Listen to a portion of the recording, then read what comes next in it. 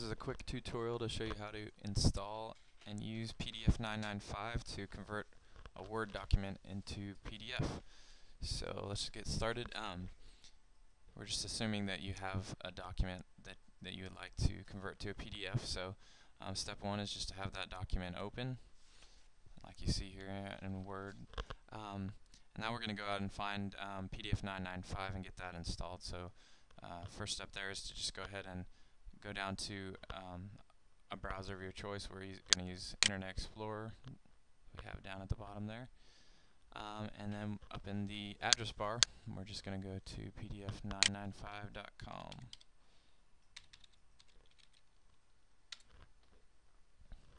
Once you get to the site, um, you're just going to go to the download section. And then on that download page, this first area is what we're looking at. We need both of these downloads um, both of these programs in order to convert to PDF. So we'll just click on the first one, get that started downloading, click Save, and I'm actually just going to save it to the desktop. I'll click Browse Folders and find that. Go to the desktop, and then click Save. So let that go real fast. You can close that. Um, then we're going to download the second one. Just click on there. And the same thing, we're going to save it to the desktop so it's easy to find. Since we were there last, it's already come up, but you can double check and click on de desktop if you'd like to. And click save.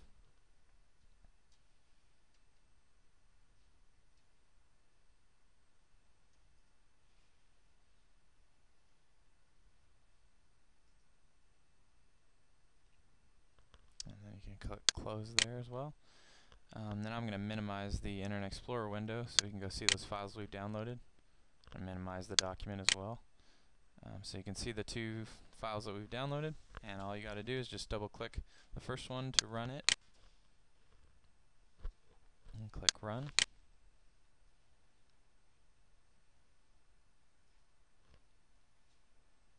I'll just wait for it to do its thing.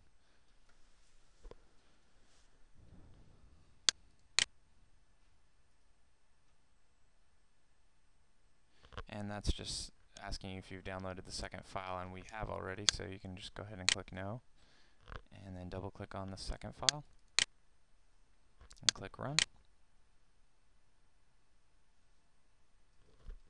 And then it'll show a little user agreement and you can read through that and once you're done with that click accept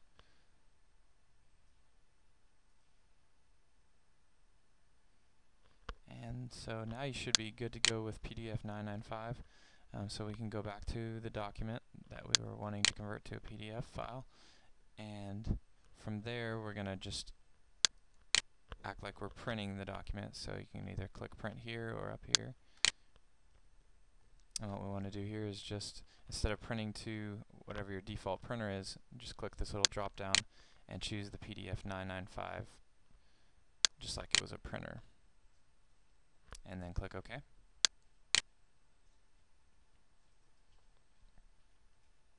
And you should see the little bar that says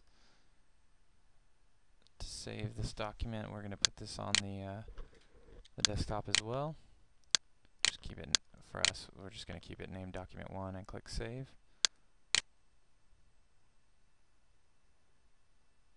And then that's the price of free things. You just watch the little advertisement and the progress bar will go through converting your file.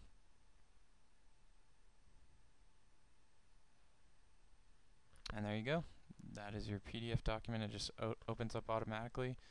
Um, if you want to find out where it's located, you can just close this file and look at it on the desktop, or you can click this desktop button to see the desktop. I'm just going to close close out of these and minimize that. And there's my PDF document right there, ready to go.